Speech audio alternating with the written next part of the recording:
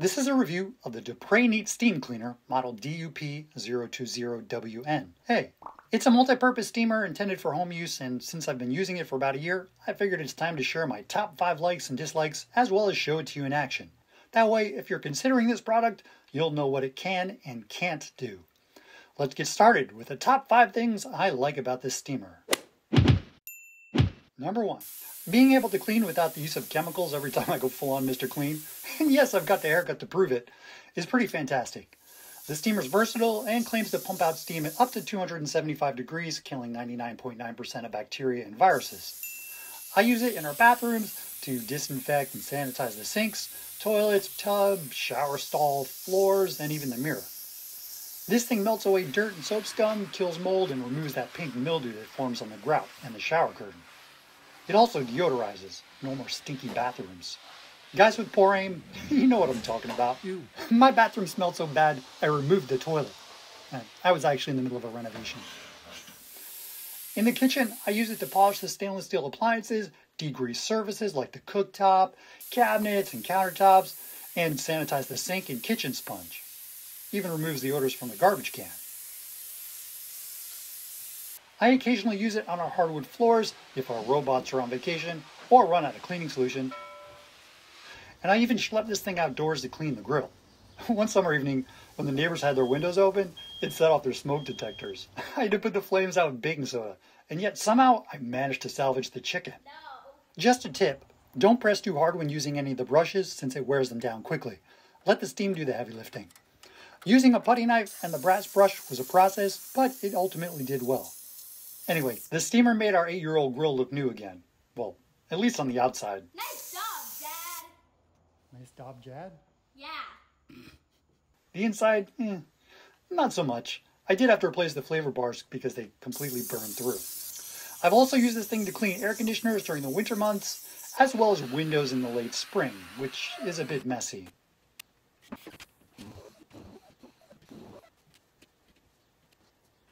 It left a lot of drips on the threshold and door frame, so I ended up cleaning everything. Uh, I was able to remove paint overspray from the storm doors that was left by the painters, and used it to remove sticker residue and adhesives left by the felt pads on the bottom of our chairs. Sometimes cleaning requires a little elbow grease, other times it doesn't. It easily removed our kid's glitter slime from the upholstery of my other half's car, which I cleaned up for her on Mother's Day. You're welcome, honey. Happy Mother's Day. And finally, the steamer is my first choice when it comes to cleaning the cat's litter boxes. All three of them. Not my favorite thing to do, but the little fur balls have such tiny lungs, and they're so cuddly. Not the lungs, the cats. Number two. The unit is relatively compact, these are the dimensions, and it's very maneuverable. There's a handle on top for carrying it around the house, a roughly 9 foot hose when measured from the unit to the steam lance, a 16 foot cord, and wheels on the bottom. There's also the oversized power button on the front. Number three, the steamer is easy to use and provides for a reasonable amount of cleaning time. Is it 50 minutes as Dupray claims? No. I found it's more like 35 minutes if I'm using continuous steam without any breaks. And contrary to Dupray's heavy duty reference, this unit is made for medium sized jobs in my opinion. I get through two and a half baths in the kitchen if I'm cleaning regularly. There's no need to hold down the trigger if you want continuous steam, given there's a lock on button located on the wand. You apply the steam to the surface and then wipe with a microfiber cloth. If you're using the mop attachment, you just, well, start mopping. Number four. In my opinion, this steamer is a decent value compared to other units on the market. I purchased this one from thehomedepot.com. It was about $154, but I did use a 10% off coupon that I got in the mail. The box included the unit, two hard plastic extension tubes, steam lance, five nylon brushes, and one brass brush, triangular brush tool, which can also be used with the included microfiber bonnet, window tool, floor mopping attachment, three microfiber fo- floor pad, flo- easy to say, three micro, three microfiber fiber, yeah, three microfiber fiber, three microfiber, three microfiber, three microfiber floor pads. They attach like Velcro. You can also just use the included microfiber cloth by folding it over, holds nicely. And finally, an Add Fresh fragrance disc. Ah, All right, I don't really use the discs, but I do like the idea of them. Number five. All attachments snap in snugly except the brushes, which push on and stay on. Now for the top five things I'm not so crazy about. No. Number one. With all my research on steam cleaning, I think I set my expectations too high because there are things I thought this thing could do, but it just can't. For example, the steamer won't remove stains that are set in. Whether it's the coffee, tea, cat food, or fruit juice stains left in our white porcelain kitchen sink, rust stains in the utility sink left by my wire brush when I'm cleaning out paintbrushes, the black mold stains on the tub's caulking, stains from years of neglect on unsealed tile grout, or hard water stains on faucets and fixtures, to name just a few. The steamer won't get stains out. It might make a modest improvement in some cases, but there are no miracles here. Do you notice any difference in these tiles before and after? Meh. It's minimal, if anything. Also, while the marketing claims it's great for cleaning the interior of ovens, it did absolutely nothing for ours. I expected the steamer to remove the years of caked on whatever this is on the glass. It didn't do anything. And while the stainless of our cooktop and cast iron grates look great, grates look great, yeah. The steamer didn't remove the black burn marks under the burners or the stains on the ceramic discs. That really surprised me. I should point out that all but our KitchenAid refrigerator are part of the Frigidaire Gallery collection, which boasts smudge-proof stainless steel.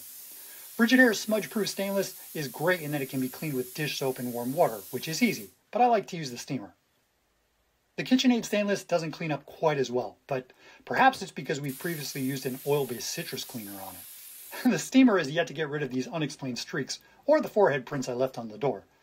Nothing like a reminder that I bumped my head checking the freezer for ice cream. Nice job, Dad. Number two. In general, steam cleaning has a few disadvantages. Let's see.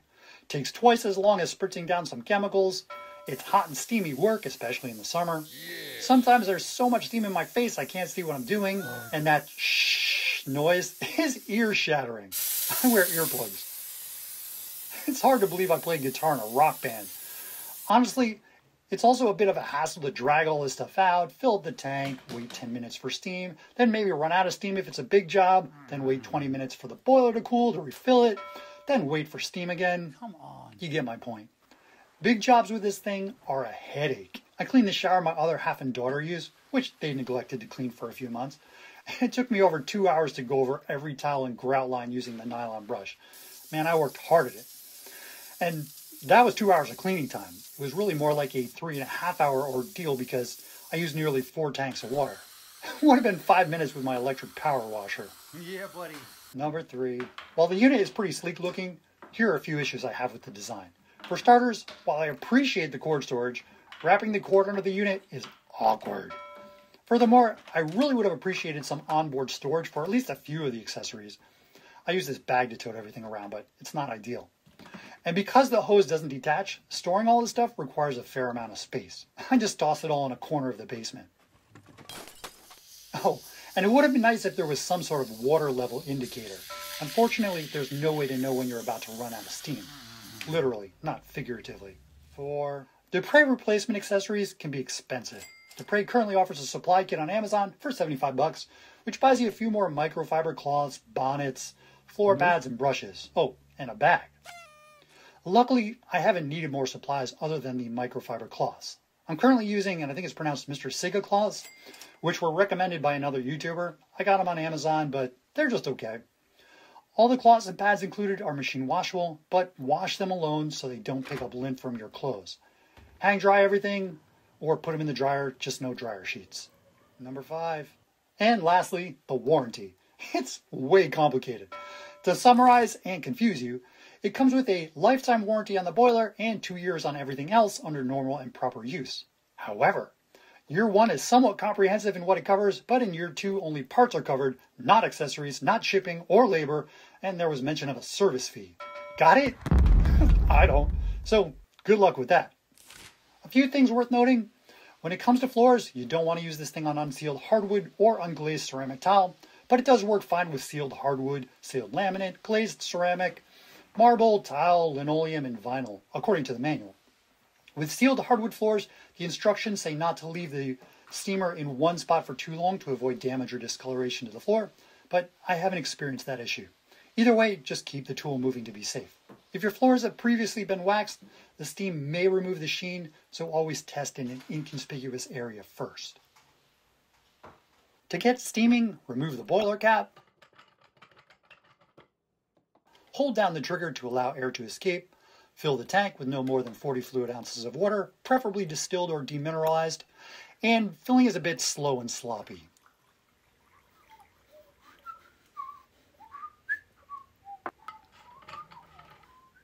To press the trigger to avoid steam from shooting out once the unit heats up, plug it in, press the power button, and then wait.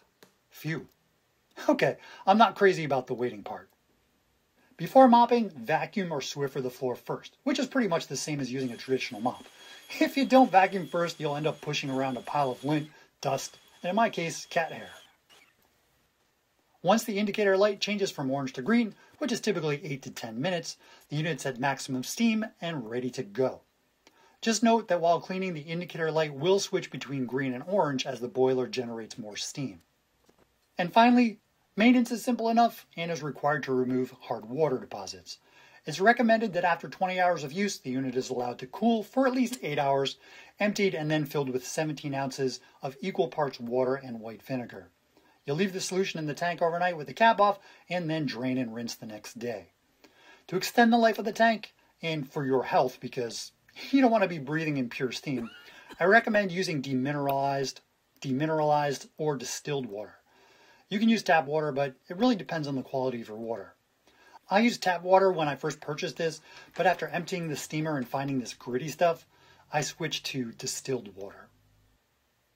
To wrap up, for small and medium-sized jobs, the steamer performs well and provides a chemical-free clean. It's a bit of a hassle to use and cleaning does take a bit longer, but who knows? Maybe I'll make up for that lost time by living longer. I hope this video has been helpful. If it has, please do me a favor and give it a thumbs up. Hit that subscribe button for more reviews and how-to videos. Thanks for watching.